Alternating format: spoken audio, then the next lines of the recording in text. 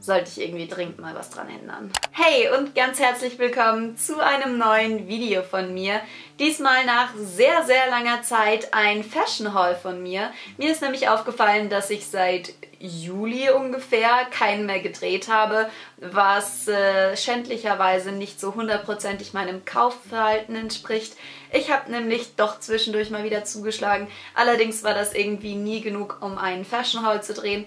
Von dem her habe ich mir gedacht, ich zeige euch jetzt einfach mal meine neuesten Errungenschaften, die ich mir so in letzter Zeit oder vielleicht äh, vor einem Monat teilweise auch gekauft habe.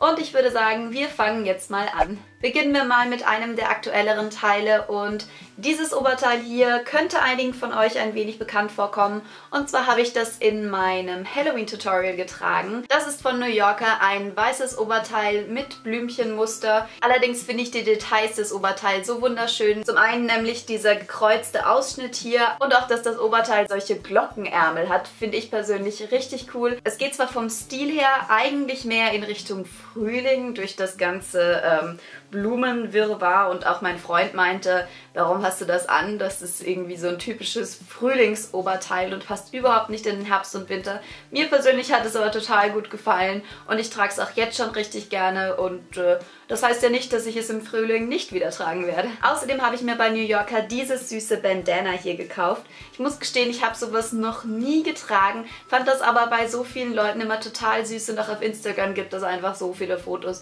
wo die Mädchen damit so niedlich aussehen. Ich war nicht ganz sicher, ob mir sowas steht. Ich weiß es auch bis jetzt noch nicht so hundertprozentig, aber ich dachte, ich setze es einfach mal auf. Dann kann ich euch auch gleich zeigen, wie es denn aussieht und ihr könnt mir gerne mal sagen, ob ihr findet, äh, dass es mir steht oder auch nicht. Und ich würde sagen, wir machen jetzt mal mit den Sachen von H&M weiter.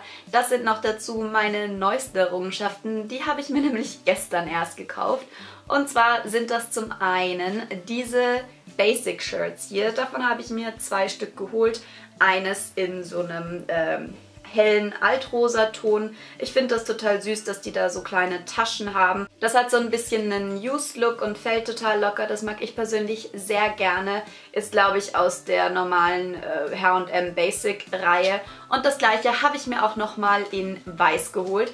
Allerdings diesmal sogar eine Nummer größer, äh, weil es erstens meine Größe nicht gab, wie eigentlich fast immer.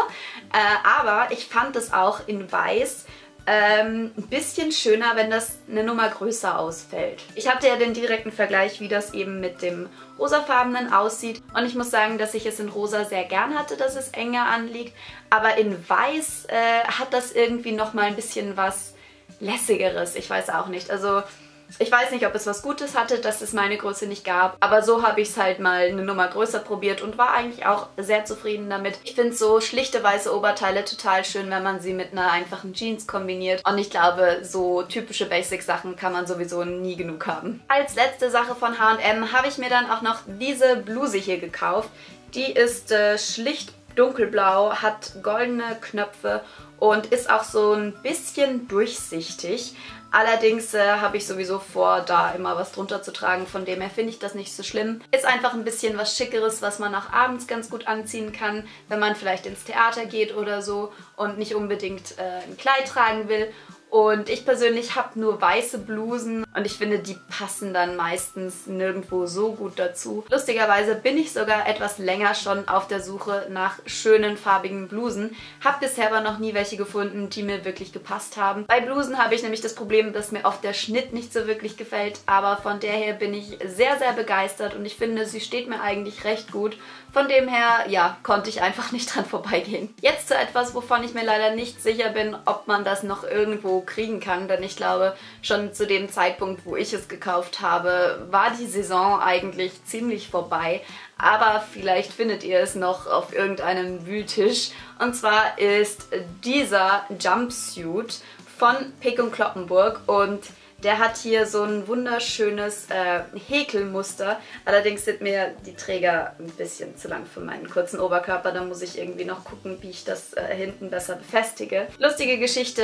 Ich dachte bis vor kurzem, und diesen Jumpsuit habe ich schon seit einem Monat oder fast zwei, dass äh, das ein Oberteil wäre weil ich nicht drauf gekommen bin, dass das hier einfach so weite Beine hat. Ich weiß nicht, wie ich das in der Umkleide geschafft habe, aber anscheinend äh, bin ich einfach mit beiden Beinen durch ein äh, Beinloch, nenne ich es jetzt mal, gestiegen und habe dabei nicht bemerkt, dass das kein Oberteil ist, sondern ein Jumpsuit. Aber es es hat anscheinend sehr gut gepasst. Es fiel mir auch erst so vor einer Woche auf, als ich angefangen habe, äh, Sachen für dieses Video hier zusammenzusuchen, was eigentlich ein bisschen peinlich ist, aber bin einfach nicht dazu gekommen, das mal anzuziehen, was man auch an dem noch dranhängenden Preisschild erkennen kann. Aber ich äh, ja, freue mich auf den Sommer, weil ich glaube, viel früher kann ich den leider nicht anziehen. Der ist dann doch etwas zu sommerlich. Eventuell im Frühling, farbtechnisch, aber ähm, ja, war ein kleiner Fail. Ich gebe es zu. Aber ich finde den trotzdem einfach so, so süß. Von dem her, es ist ja nichts verloren. Ich kann ihn ja immer noch anziehen, aber erst in einem halben Jahr. Kommen wir zum nächsten Teil von Pick und Kloppenburg und das ist etwas, was ich genau genommen ungefähr in der Art und Weise schon haben möchte, seit ich so vier, fünf Jahre alt war. Klein Sophie wollte nämlich immer eine prima Ballerina sein und dementsprechend immer ein Tütüröckchen haben.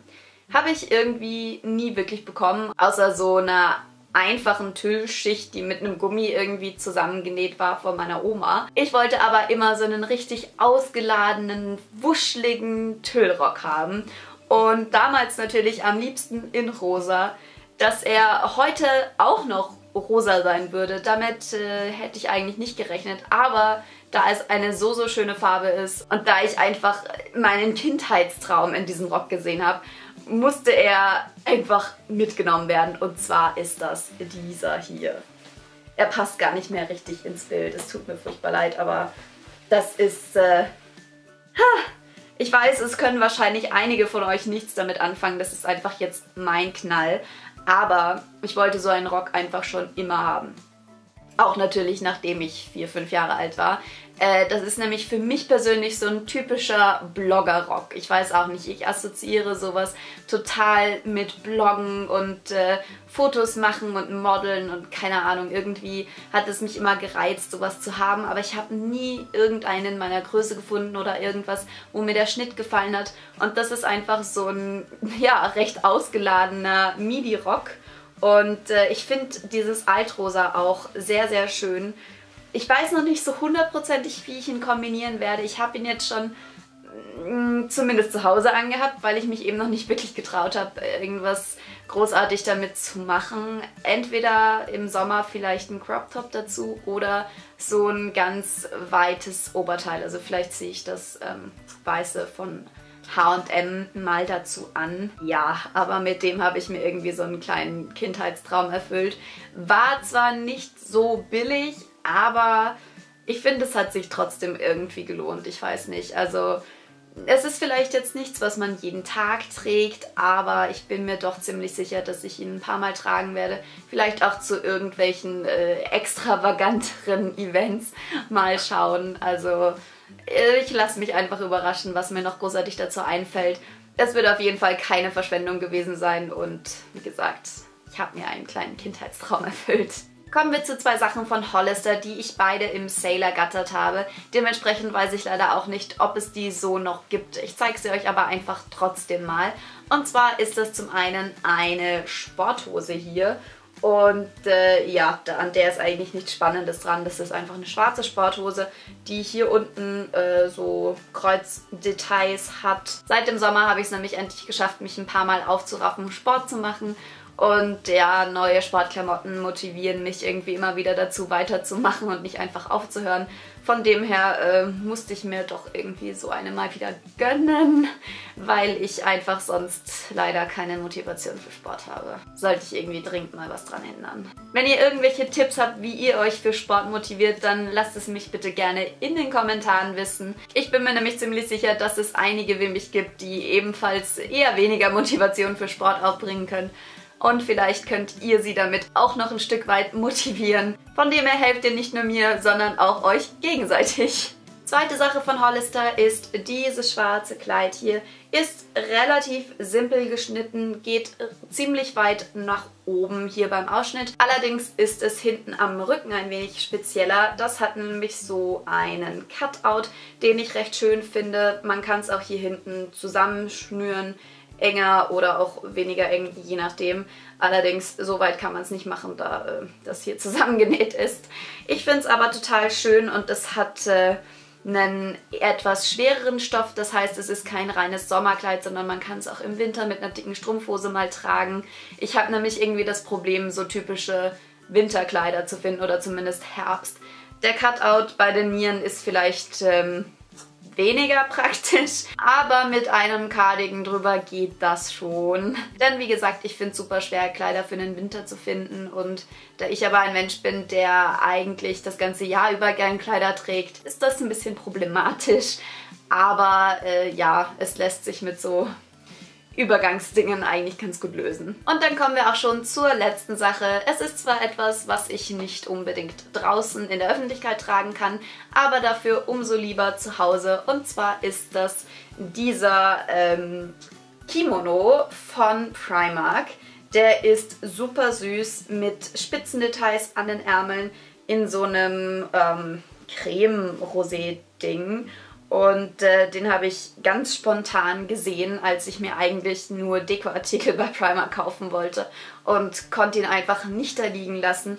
Ich finde den so, so süß und trage den in der Früh ziemlich gerne als Morgenmantel und auch beim Schminken, damit, wenn ich schon angezogen bin, ich nicht mein ganzes Make-up auf meinen Klamotten verteile. Den sollte es auch ziemlich sicher aktuell noch geben und äh, eventuell kommt ja demnächst rein theoretisch mal eine Morgenroutine von mir. Und da werdet ihr den hier auch mit Sicherheit sehen. Und ich weiß jetzt schon, dass so viele nach ihm fragen werden. Ähm, deswegen Primark. Lauft und holt ihn euch, bevor er weg ist. So, das war's dann auch schon mit diesem Video hier. Ich würde mich natürlich sehr freuen, dass, wenn es euch gefallen hat, ihr ihm einen Daumen nach oben hinterlasst. Hier findet ihr zwei meiner letzten Videos und hier könnt ihr mich kostenlos abonnieren, wenn ihr das nicht schon bereits getan habt. Und ansonsten wünsche ich euch jetzt einfach einen wunderschönen Tag und wir sehen uns das nächste Mal. Tschüss!